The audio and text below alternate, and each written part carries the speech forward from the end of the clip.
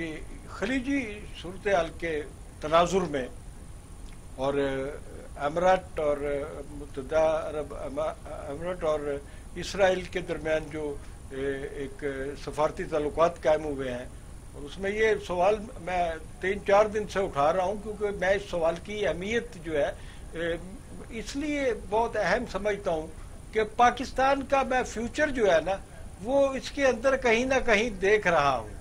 इस सारे मंजर के अंदर कि अब जो अमेरिका का जो सदर है, वो ऐलान कर रहा है कि ये जो सफारती ताल्लुक कायम हुए हैं, सऊदी अरब भी इनका हिस्सा बन रहा है। अगर सऊदी अरब भी हिस्सा बन रहा है और तुर्की और ईरान जो है, उन्होंने अपना एक ब्लॉक बनाया हुआ है। उसको ब्लॉक को सऊदी अरब के खिलाफ ब्लॉक करार दिया जा रहा है। पाकिस्तान का झुकाव जितना सऊदी अरब की तरफ़ है, उससे ज़्यादा कभी कभी तुर्की की तरफ़ भी नज़र आता है। ईरान से हमारे जो ताल्लुकात है, चीन से हमारे जो ताल्लुकात है, उनको भी हम नहीं नजरअंदाज कर सकते। इसके बावजूद कि चीन जो है, बहुत सारे मामला में पाकिस्तान की खारजा पॉलिसी के जो मुखालफ में वोट देता भी नज़र आता है। तो क्या क्या अगर कोई सूरत ऐसी बनती है कि पाकिस्तान को फोर्स किया जा सकता है कि वो सऊदी अरब से सफारती तल्लुक कायम करे? इसराइल से। इसराइल से। देखें जो अरब में ताल्लुकात कायम हो रहे हैं और जो मिस्र ने किए और और जो अब यूएई ने किए हैं और जो बाकी अरब मुल्कों का नाम लिया जा रहा है इसकी वजह जो है वो खौफ होता है।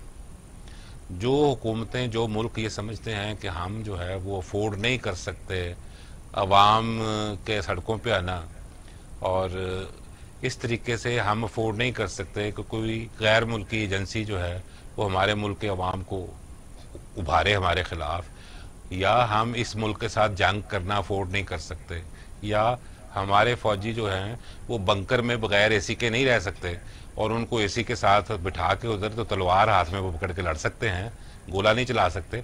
तो फिर ऐसे मौक़ों पे आपकी ये कमज़ोरियाँ जो हैं, अपनी ज़ात के तहफ़ के लिए और हुक्मरान रहने के लिए आप फिर अमेरिका और इसराइल की बातें मानते हैं। पाकिस्तान में मेरा नहीं ख्याल कि ऐसी कोई सूरत हाल है।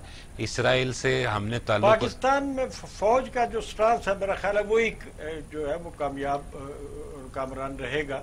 ये, ये मैं इस पे नहीं कुछ कह सकता लेकिन मैं ये समझता हूँ कि इस पे जो आप पंद्रह साल अगले में ये सारा खत्ते की सूरत बदलनी है। आप देखते जाए मैं आज पंद्रह साल की बात कर रहा है मुझे तो पंद्रह महीनों में दो सालों में बदलता नज़र आ रहा है और मैं तो समझता हूँ कि बदल चुका है बहुत कुछ जो अभी बाज़ार नज़र नहीं नहीं मैं समझता हूँ कि ये जो लकीरें हैं ये भी बड़ी बदलनी है बड़ी जगहों पे। जी हाँ, जी हाँ, बिल्कुल ये लकीरें भी बड़ी बदल बदल गई है और बदल रही है और मजीद बदलेगी। और इसकी मैं एक और भी आपको कह दूँ जो मुल्क जो है वो खानदानों की हुकूमत होती है जहाँ पे और बगैर इलेक्शंस की होती है और एक मुस्तकिल सिलसिला चलता रहता है वो सबसे ज़्यादा वलनरेबल होते हैं उनको सबसे ज़्यादा डर लगता है।